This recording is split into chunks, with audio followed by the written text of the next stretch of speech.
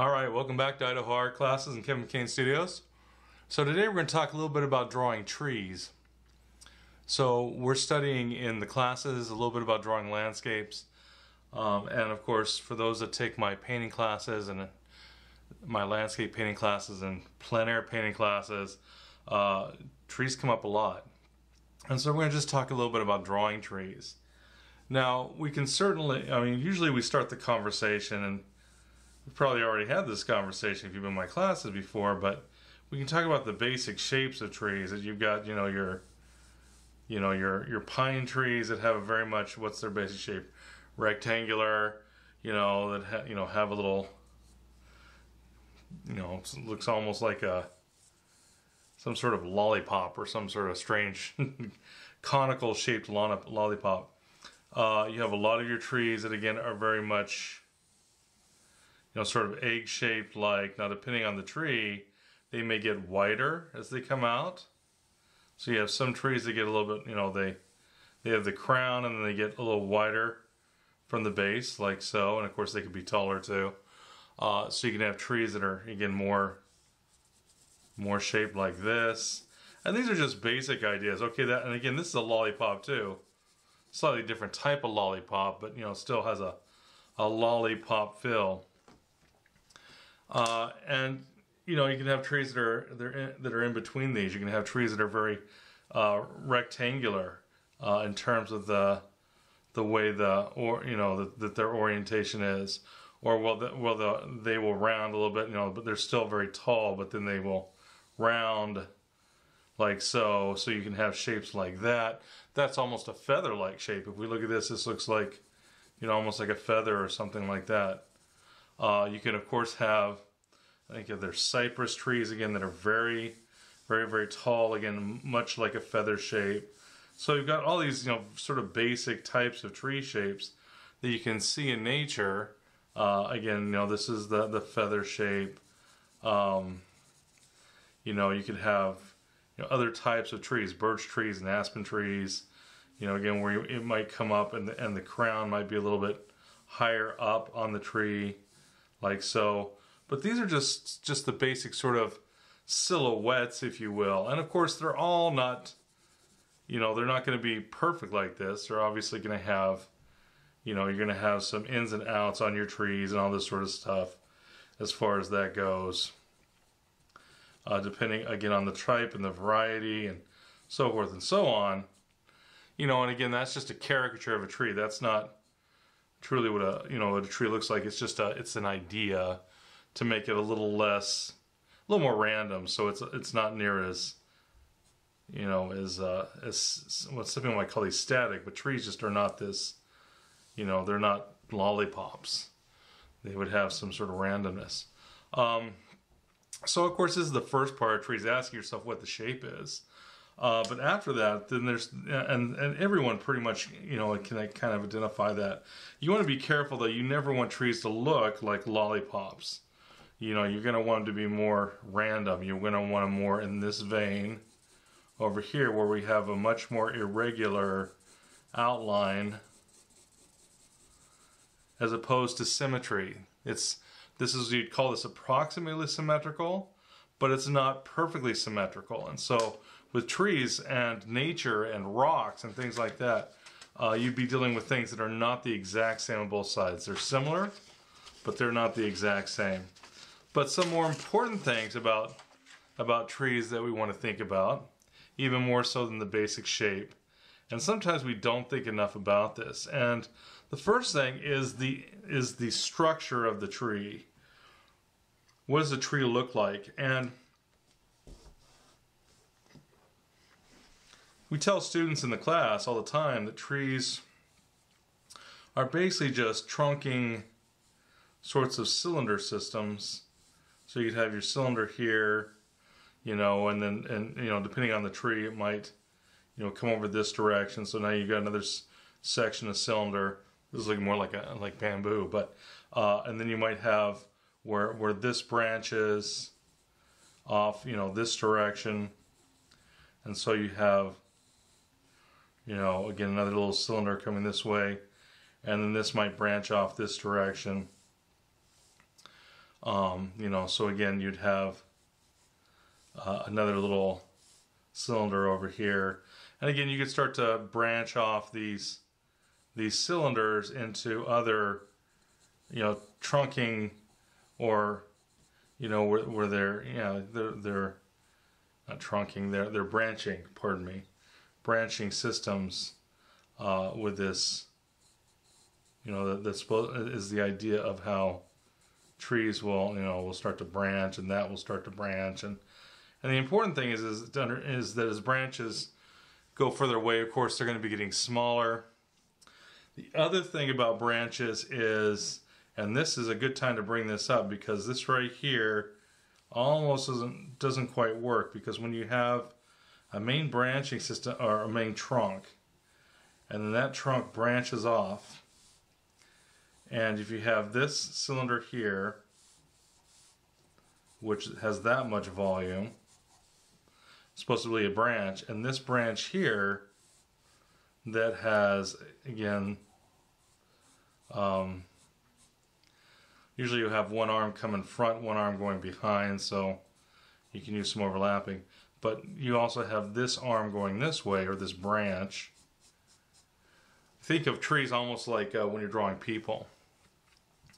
So some people will talk about you know, talk about um, well there's a lot of gesture to trees and so uh, you go out in winter or fall right after fall depending on how you know I'm in the west so our winters are not all that all that harsh where I'm at. Uh, but you know go in after fall and draw some trees that don't have leaves on them so you can see how the arms branch and things like that. Um, but what I was getting at is that if this is this wide right here the sum of these two parts so that's that wide which you know its widest part this is already more than half of the tree and this is its widest part is more than half of the tree. So that is wrong. If the volume of this branch here and this branch here and you add those two together their widths and if their two widths together is wider than where it branched from that is incorrect and so that's the biggest thing when we're thinking about branching uh, systems is that whenever it branches, the, the sum of those branches have to be less than the arm that it branched off of. Otherwise, it's it's not right. I mean, so, um, and you might be able to find in nature some, you know, sometimes people are like, well, you know, there's there's trees out there that could be mutated and they could be, well, they there are. You'll see some funky things in nature. However, it will still look weird. You know, it doesn't matter the fact that you could find, you know, you know somebody with, with uh, or you know whatever a tree with some that goes against the norm. But um, you know, unless you're trying to, unless you really make it look like that's that you're trying to do a, a tree that's not normal, it's going to look like you just don't know how to draw trees. And so, the, this this this idea of, of this thing's branch that they get smaller is, is, again a very very important thing to understand that again these branches are getting thinner and thinner and thinner and thinner and thinner as they go further and further and further and further out so if I wanted to make this correct well then this branch here we would have to thin it down okay um, so we'd have to thin this one down.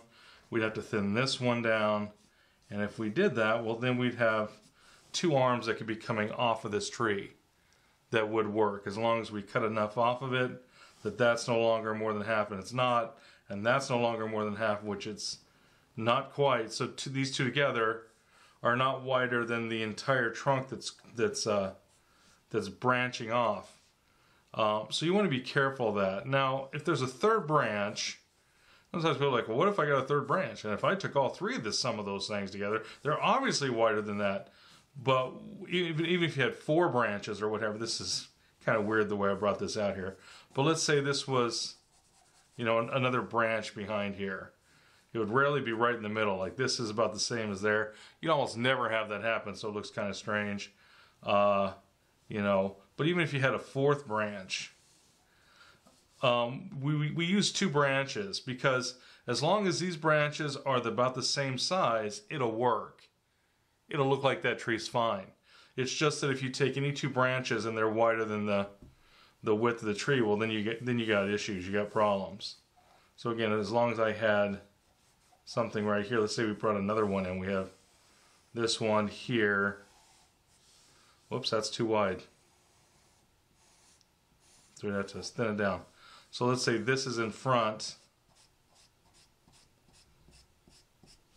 That's in front of this one. Well, now we've got four branches on here, right? But as long as any two of those aren't wider than this, you're fine. So the biggest thing is is remember this idea. Um, are you gonna lose sleep over it? No, but it's it's good to kind of you know think about that. Like this right here is still probably just a little bit thick. As this branches off of here, people say, well, it divides the energy of the plant, and so the the energy gets smaller and smaller and smaller and less and less and less as it goes further and further away from the uh, rung from the center. Now the other thing to to think about, and sometimes we don't think about, is you know the the tree has roots, right? And you know many times those the, those root systems can you know we could start to make this look like little lightning or whatever, so it looks more like roots. But the idea is that the roots of the tree many times will be just as tall as now there's different trees and there's different varieties and some roots on certain trees go deeper than others but in general the rooting system of a tree normally has roots that are as deep below ground as it is above ground. Now, there are certain exceptions to that. If you've got some sort of scrub juniper growing off a rocky ledge in, say, the you know the Grand Canyon or something, uh, well, that's not true either because some of those they'll they will they will snake their their roots down the sides of the the uh, the rock and be the roots are actually bigger than the tree itself. You know, I know some trees that have 100 foot long root systems that try to do that along the rock face.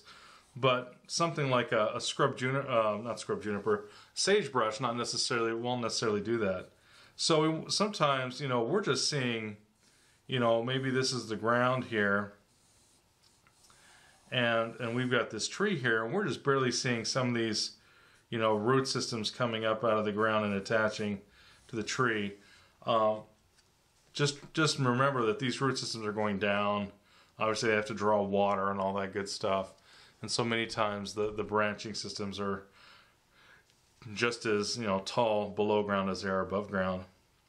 Um, and of course, this is kind of funny because this is not what we'd call great. This would come here, and maybe this would go over that there, and maybe the ground would come around that. Whatever. But um, I want to think about the roots. The other thing is is that a tree never slams into the ground straight down. Now I'm gonna I'm gonna show some like little caricatures of trees where they're kind of doing a little bit of this. That never happens. If we look at this tree, what happens to the tree is it gets it, it, it comes out, it comes out, it, it it widens as it goes into the ground, and it does that because it gives that tree more stability by doing that.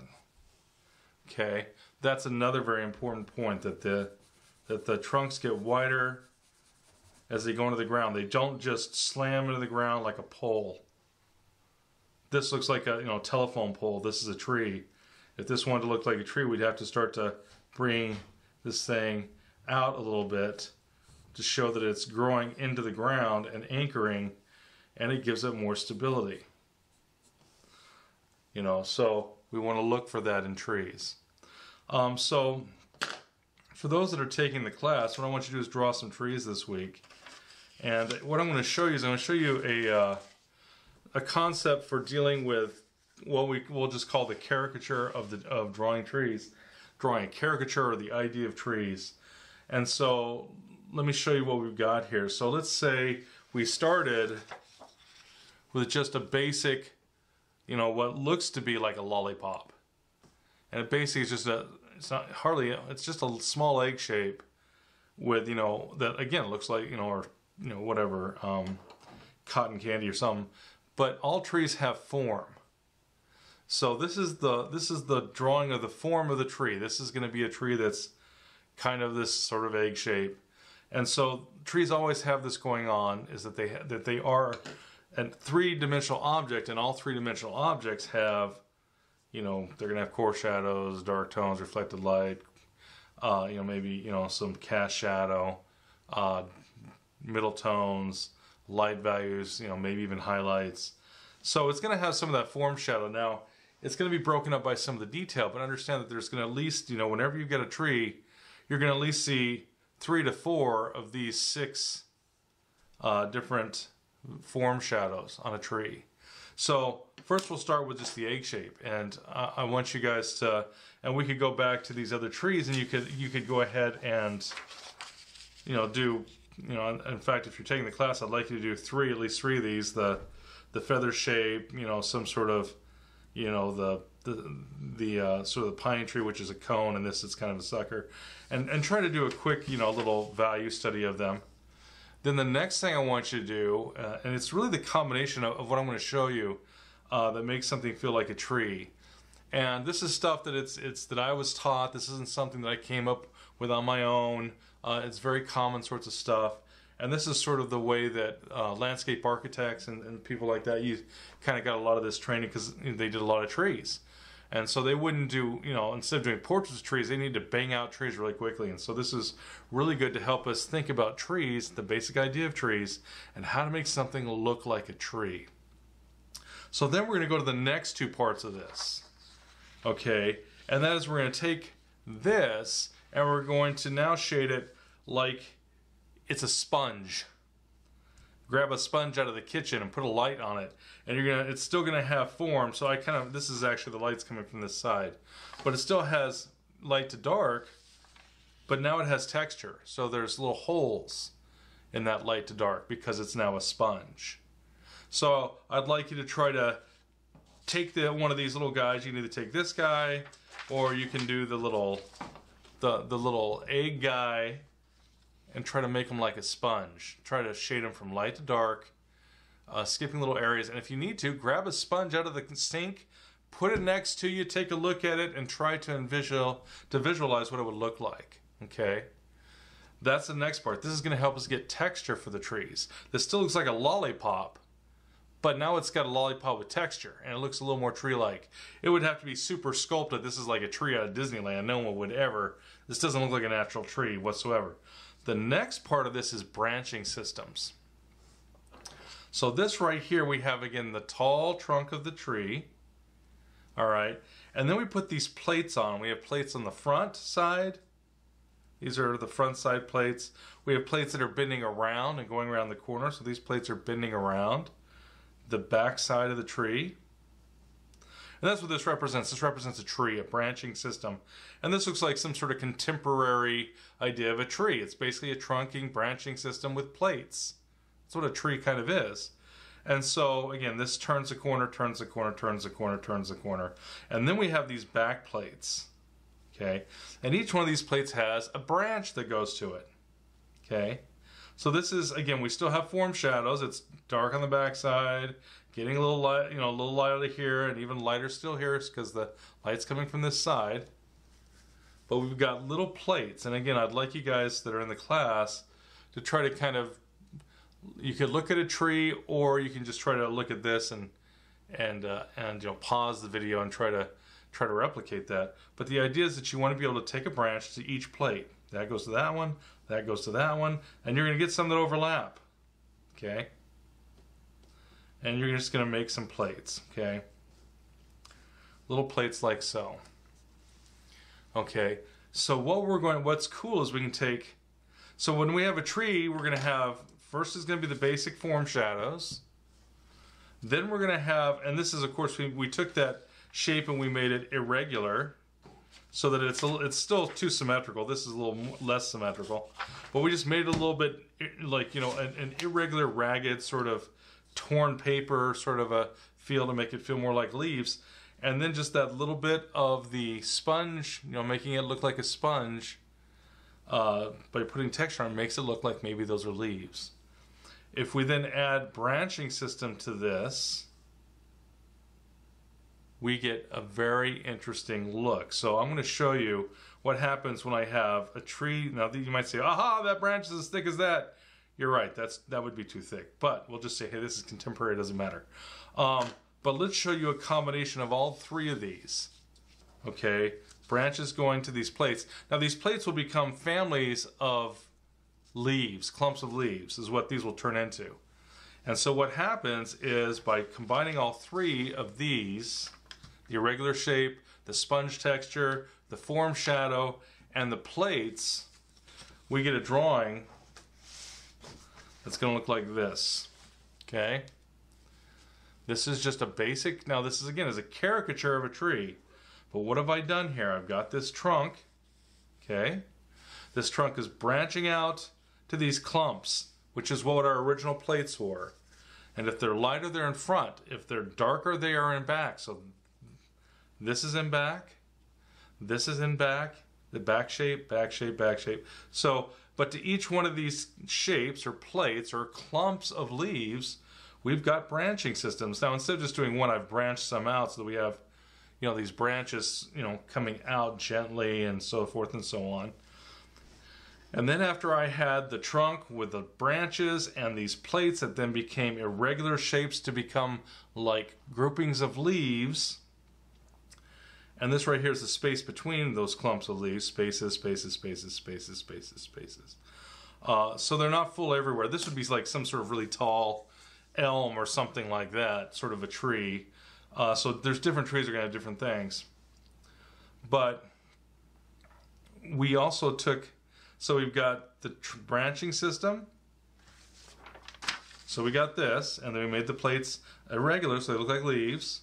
We also have the irregular you know? And again these are these are clumps. So i was thinking of them like plates but then we made them just a little bit jagged right? Each one of the plates. And we have plates in back and plates in front. We have branches going to each one. We then put the texture on it. That spun te sponge texture was put on here and it just looks kind of leaf like so by the time we go and it's darker over here the leaves are darker over here lighter over here. So and it's getting from dark to medium to light so we have form shadows. So we have form shadows, we have the branching system, we have the different clumps of leaves, we have the texture, and this all stacks up to something that looks like a tree.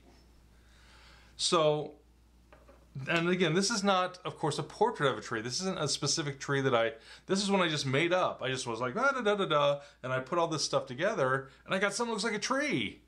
Um, now this comes out of me having drawn trees for, you know, I've done trees before. And so I, I understand it sounds like, wow, come on, I ain't just going to be able to pull that out. No, but this is to show you that the idea of stacking these different ideas up together will give you a fairly convincing tree. When we're out drawing trees or for painting trees or whatever, we don't have time to do portraits. If you're to do a portrait of a tree, you're to be there for like three weeks. So you're lucky if you have time to even do something that's this much of a caricature. It's going to be much more simple normally. Uh, and so we want to get used to the idea of the idea of a tree. That the, the idea of the tree is that it has form. We could even say, well, it has a basic shape first. And then from that basic shape, we've got form. And then after the form, we've got the fact we want to make it irregular and jagged because it's made out of leaves. Uh, and of course, it's different types of leaves. So, of course, a, a weeping willow is not going to look the same as an elm, is not going to look the same as a pine tree. But this is the idea that all trees have form, all trees have some sort of irregular shapes going on because of their needles or the leaves or anything, or you know, the configuration of the branches. They all have branching systems, and they all have you know, you know, these clumpings of you know, groupings of leaves or foliage, whatever term we want to use. And so, you know, by doing that, we, we end up with something that looks tree-like. All right. So that's the idea. I want I want you to start thinking and looking for in every tree you draw. Look for the branches. Look for how they connect to the different clumps. Look, ask if yourself, is it in back or is it in front? If it's front lit, the leaf should be lighter. If it's in the back, the leaf should be darker. Uh, same thing with the branches. If the branches are in back, they're going to be darker. If the branches are in front, they're going to be lighter. So start asking yourself about how those different are they further or closer uh, to you or from you? Of course, where do these branches start and stop? I've got a branch here that doesn't attach to the tree. That's a big no-no. But anyways, I'm like that branch. Wait, where did the branch go? Yeah, I've got. To, I would have to. This would have to be changed, so that branch. There's a branch out here can come from the tree out to the so missed one there. And that's when you go, aha, well I missed it. I'll put it in, no big deal. But start thinking about this and looking for it when you draw trees. The assignment for, that I want you to do this week, for those that are in the class, I want you to try to do, you know, again, take any shape you want, but the egg shape's easy enough, and put form shadows on it. Then try to take one and make it a little jagged, a little irregular, and of course we want the spacing difference. So this the little this is a little smaller, this is a little bigger, this is a little smaller, this is a little smaller, this is bigger, this dip. You know, this distance here is different from that distance there, from that distance there. Try to make something that if you repeat stuff too much in nature, it starts to look fake. So you try to try to you know like this little clump here is very very different than this over here. So if we start breaking down the parts of trees, it's got some, it's similar but it's not the same, and it could be even less similar than what I've got. This still looks like a cotton ball, but then try to put some just some squiggly little, you know, little marks on there. Okay, and try to make the marks get go darker, getting lighter. And then try to see if you could try to figure out the plate thing. Again, you can stop the video, try to take a look at this. If the plates are in back, they're darker. If they're in front, they're just being kept light. There's a little bit of value. This goes a little, little middle value to a little bit darker, a little bit darker as it goes around the corner. So, but the idea of this is just to think of these as just sort of like these flat plates. Uh, there's a couple sculptures like this down in Phoenix from like the 60s and the 50s, and, and that's what they're doing. It's basically an abstraction of a tree. Uh, so try to try to do this, and then try to take all three of these concepts, stack them up together, find a tree in your yard or a photograph of a tree or a tree that you really like or have a connection with or what have you, and try to do a drawing of just the tree. Try to do a study of trees. This is just a general idea of trees. We'll talk more about trees. But since we're drawing landscapes, we have to talk about the idea of dealing with trees. Um, and don't be afraid of them. And, you know, they're really, really great stuff. Like I said, go out in, in fall, take a sketchbook, and study trees. They have lovely gesture. They they lean. They sort of the, the branches dance back and forth. They have rhythms. They have a wonderful design. It's a great way to learn. And if you're into wanting to deal with nature and paint nature and draw nature, you're going to want to know trees because they're everywhere. You know, you say, well, what about on the plains? Well, yeah, okay. If you're in if you're in prairie where there are no trees, well, then yeah, there's no trees. But there's all kinds of different trees. You know, in the scrubby deserts, you got the you know the junipers and these different sort of scrub oaks and different things like that. You have you know, the wonderful scrub cedars and other things, you know, and just all kinds of different types of trees. They're wonderful. They're fascinating. Uh, get used to them. The better you can do them, the, the, the better time you'll have.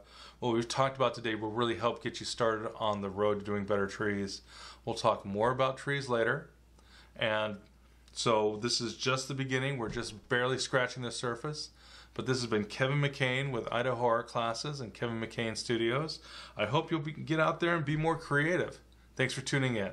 Bye bye.